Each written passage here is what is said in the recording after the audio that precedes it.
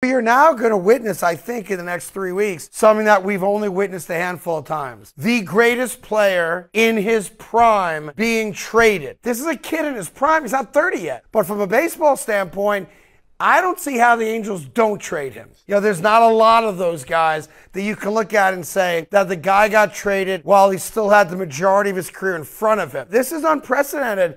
Uh, I mean, in baseball, Babe Ruth? I mean, I don't even know. Who else would you even come up with?